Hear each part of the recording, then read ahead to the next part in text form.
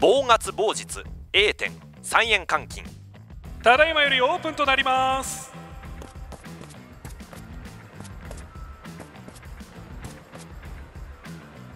ざっと確認したが今日はマックス機がサービスのようだな。中でも刑事円ガロ鋼太郎ルパンが他の騎手よりいい状況だ。俺は谷原章介一応加盟だ俺はいわゆるパチンコ専業者で巷ではプロなどと呼ばれているものだ。マックス機がチャンスなら連チャン中確実に2000発の出玉が得られるガロ鋼が第一候補だろう。この台を試してみるか。連チャン中2000発得られることを考えればルパンという選択肢もあるが現状ではガロ鋼の方がいいようだ。太郎は第3候補といったところだな。しかし俺たちのような専業をプロなどともてはやすのはあまりにも馬鹿げている。それは専業と呼ばれる人間に巷の人間が憧れるようなプロとしての華やかさなどみじんもないからだ。まあちょ玉を使えないリスクはあるが現金投資でベース26なら何の問題もない。やっていることは地を這いずり回って有料台を探し泥水をするような感覚で稼働率を上げただただひたすらパチンコ台を回し続けて期待値を上げていくことだけ。その結果こそが俺の年間収支につながっているのだからな。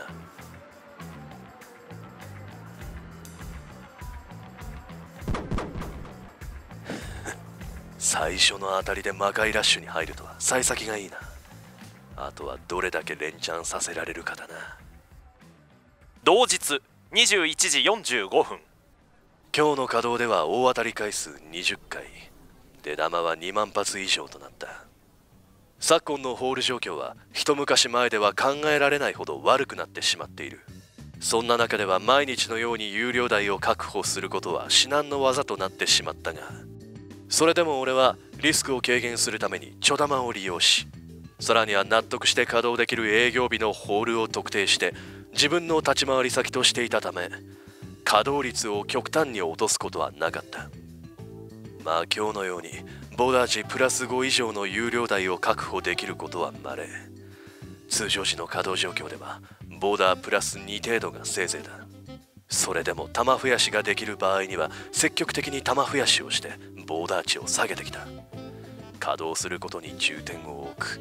これこそが俺の立ち回りだからな。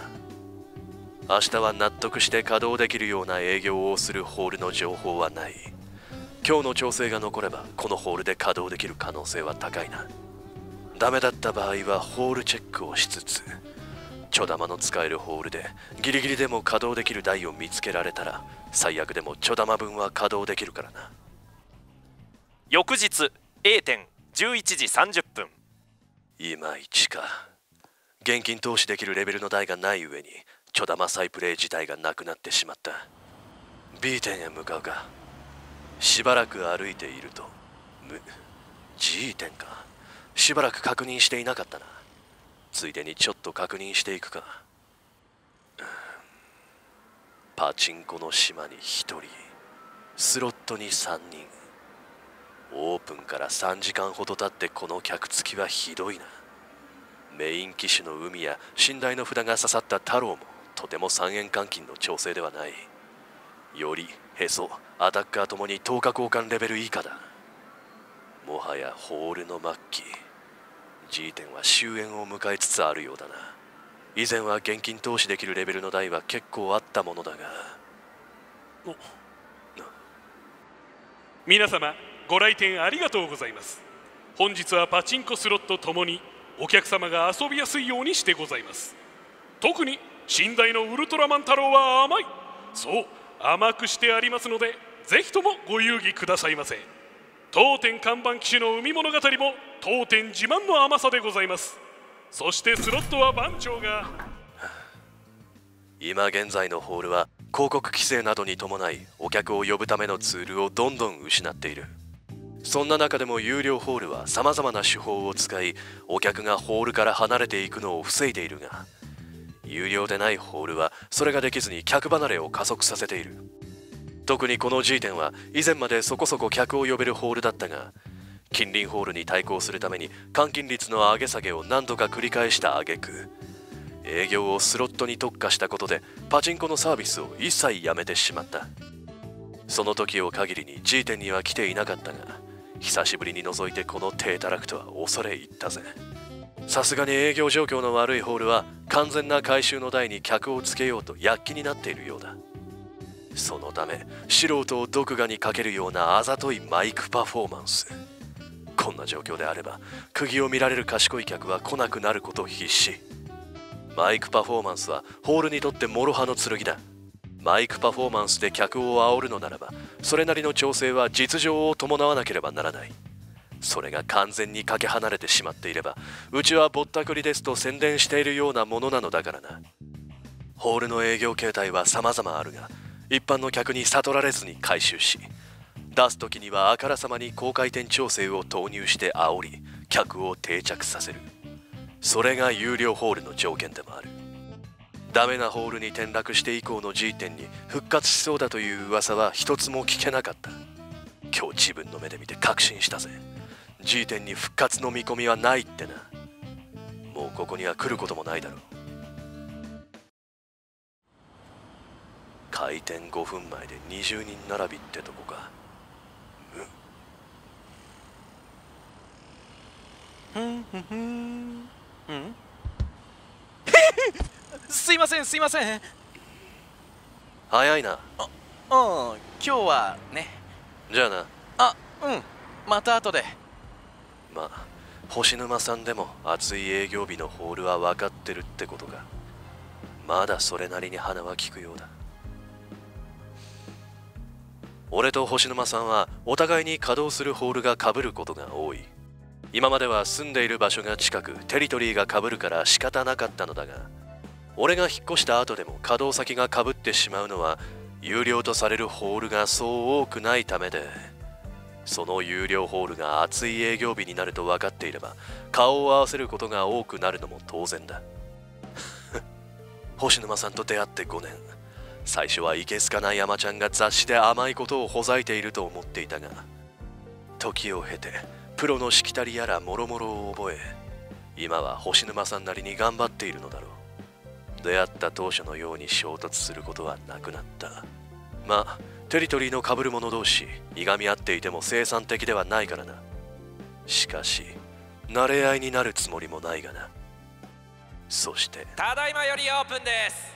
ホールに入るとサービスしていると思われる機種は今日も太郎ガロ鋼ルパンだということが確認できた。この3機種ならガロだな。連チャン中確実に2000発の出玉は大きい。太郎はボーダー値の低さからかそこそこの台しかないがこのガロには納得して稼働できそうな台を2台ほど見つけられた。こっちの方が良さげだな。ちょ玉2000発と追い線500円で大当たり。ここまでのベースは25これは稼働に専念できるレベルだな。な星沼さんは太郎を撃っているのか。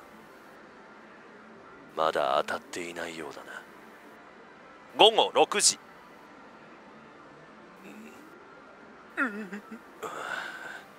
結局5万円以上投資してベース24の太郎で初当たり4回全部飲まれちゃったから帰るよ。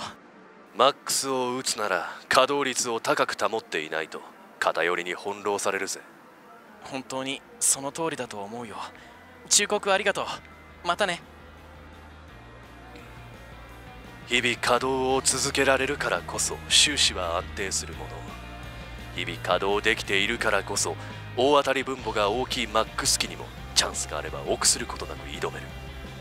少ない稼働で結果を得ようとすれば大当たりの偏りを考慮しても日当が格別に高くなる台が必要になるだろう。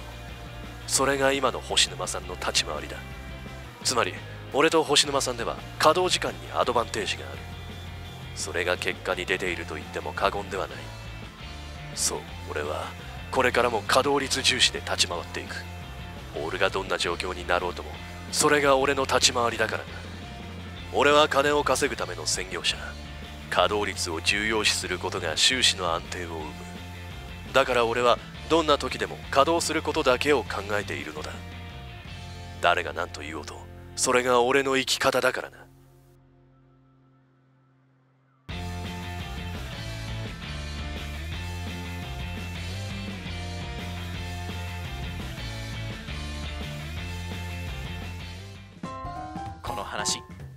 じです。